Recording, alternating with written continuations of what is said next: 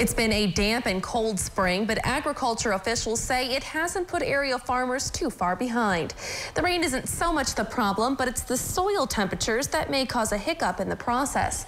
They say it's been ranging in the mid 40s and it needs to be on average around 55 degrees for several days for any seed to germinate.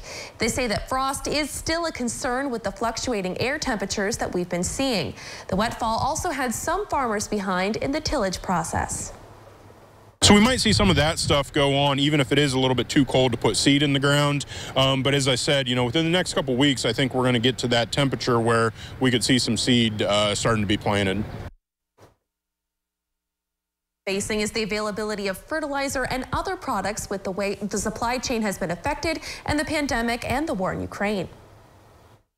That could impact yields negatively. Uh, a lot of farmers are trying to plan, uh, looking at different sources of fertilizer, uh, changing their timing up as far as applications. Maybe instead of uh, using as much up front, try to use more in season. And no, all those things present new challenges, but uh, there are a lot of options out there, and it's just uh, forcing farmers to be a little bit more inventive this year.